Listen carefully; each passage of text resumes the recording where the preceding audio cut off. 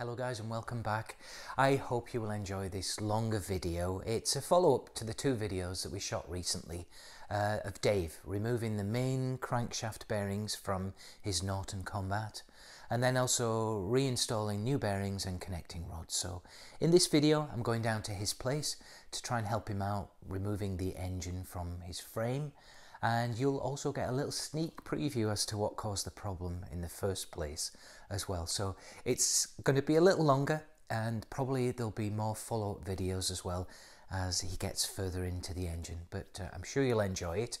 And then talking of video series, this is my latest project here and I'm really looking forward to showing you this soon. Alright, so speak to you again soon. See ya.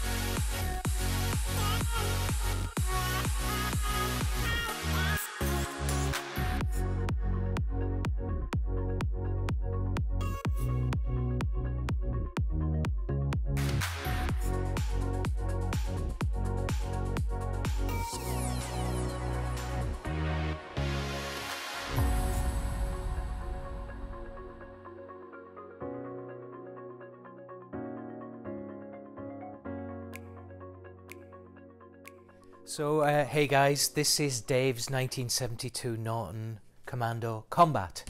And you may have seen that he's been doing some work on the engine. Um, not this engine, but a new engine. Um, and the reason for that, he had a rather disastrous, catastrophic, catastrophic event with this bike. Uh, what you were riding down the freeway, yep. Highway 26 here in Oregon, and uh, there it, was it a. went bang. It went a big bang, and luckily yes. you pulled into the side of the road, yep. side of the freeway, looked down, big, lots of oil, big pool of oil on yes. the on the freeway, and so uh, this is what it looks like underneath. Just thought we'd show you it. So here we have a few items that came out from the the bottom of the engine, right, Dave? Yep. Uh, prizes for if you can guess what this is, but uh, connecting rod, or what was left of it, and this here that's a shell bearing, right? Yep. The connecting rod. We can't even see the little notch. The notch has completely gone away. And so pretty catastrophic. Other than that, the bike looks fantastic. You're going to start taking the whole thing apart then Yeah, now? I'm going to start with the primary, take that all apart. I've already got the front pulley of the belt drive off. Uh, and next we'll do the clutch, and then the inner uh, chain case will come out. And then uh, we'll probably do the, uh, the right side exhaust, and then we'll move to the carburetors. Uh, and at that point, we're pretty clear. Uh, just a few more uh, bits and bobs to do, and should be getting close to having the engine come out. Oh, that clutch was set up so sweetly. Yours is like a two-finger clutch, isn't it? Yeah, it's it was. Nice, yeah. That's what it was. Yeah, I got those as well. I think because I saw yours from Harbor Freight. They're good, aren't they?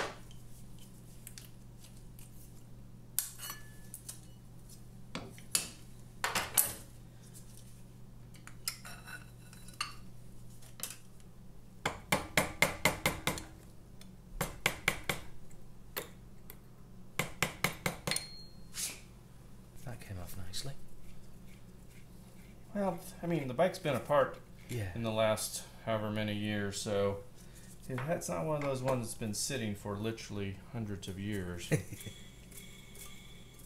and then it runs a sealed bearing here. Oh, that's, that's nice. Yeah, yeah. Um, so it runs a sealed bearing, so it doesn't have to have oil in it. Yeah, that's very nice.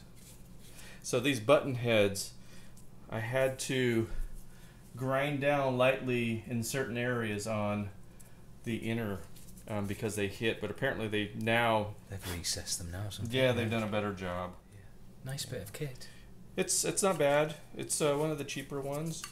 Um, the Manny stuff that's no longer made anymore. That is Yeah. really, really beautiful stuff. There we go. Well, it's clean Well, that's compared the to beauty the, of the yeah, uh, yeah, that's isn't it the the beauty drive? of the belt drive. Yeah, I mean, you don't have to. I mean, looks so simple compared. it's so simple and it um, yeah, it's, it. Uh, well, hold just hold it up in the air, and then hold that out of the way slightly, and then that all there we comes together. Nice, very nice. Great. That's going to be a little bit dirty. Maybe that's what I need to do. Is I think I need to seal these screws a little bit better.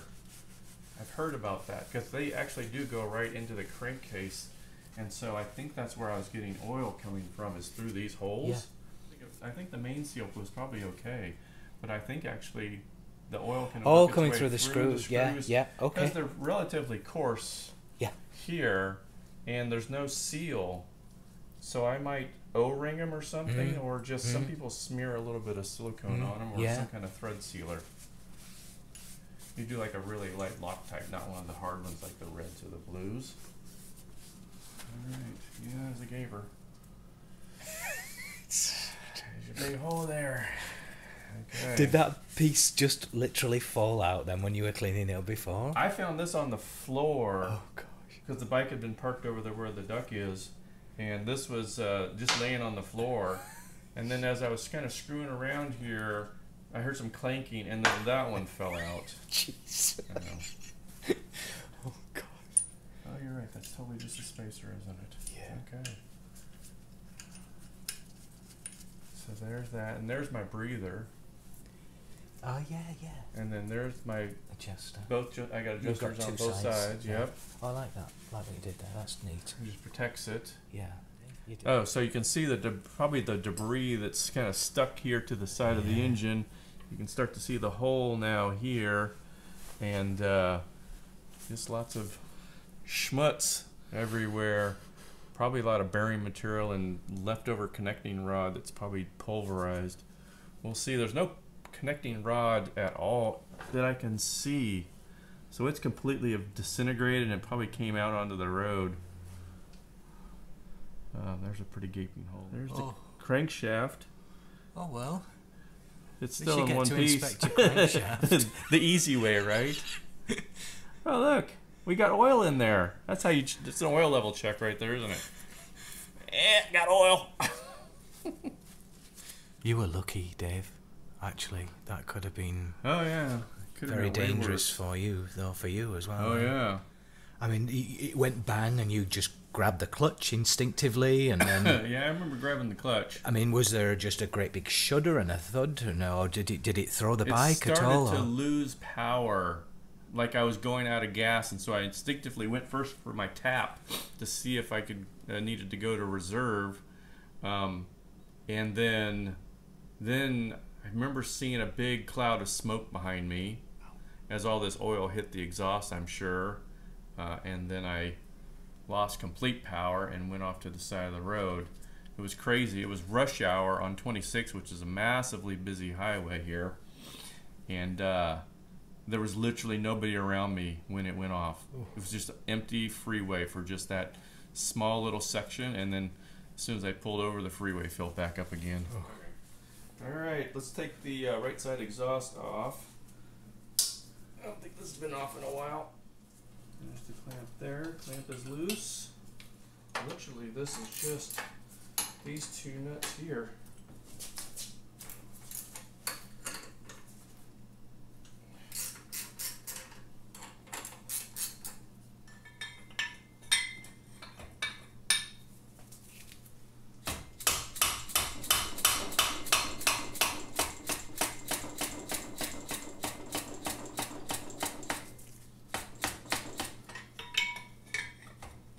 I'm pretty sure I had anti-seize on these threads. You got the header? Yep. That's it. Yep.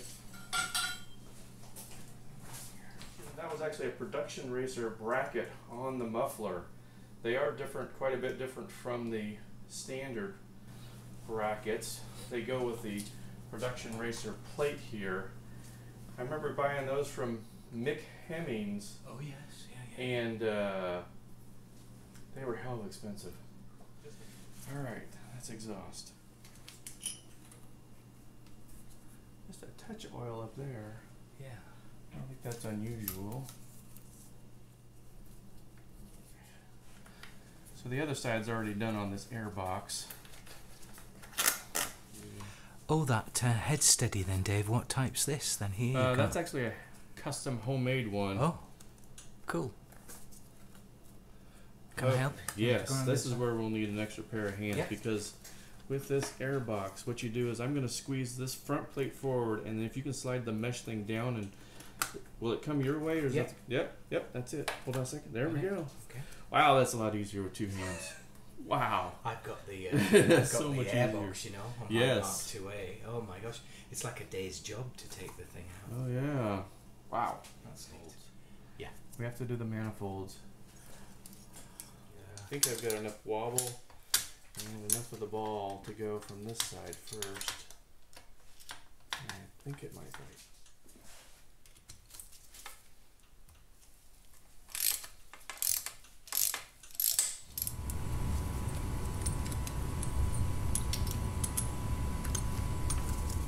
If we can just hang it up on the top somehow and mm-hmm. zip tie it up there. Yeah, I'll hold it. I got a hose clamp on that one.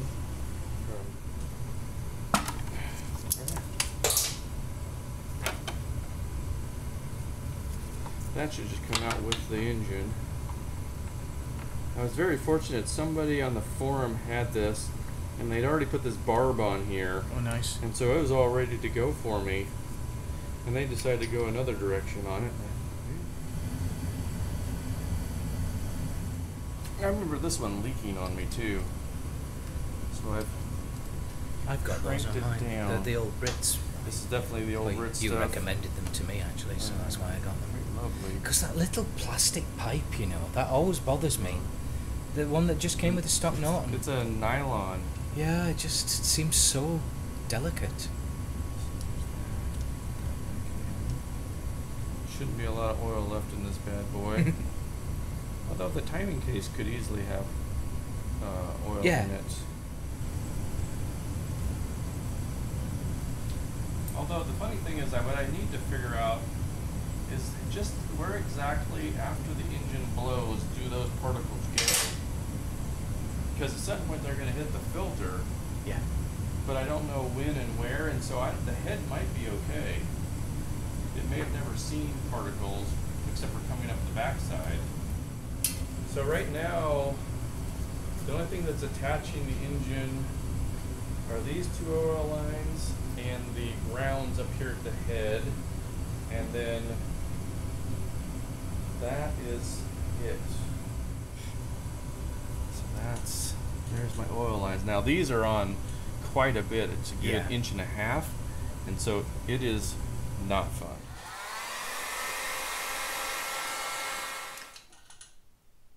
You got it.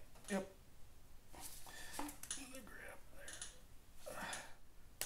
Whoa. No. Squirter. Okay. Yeah.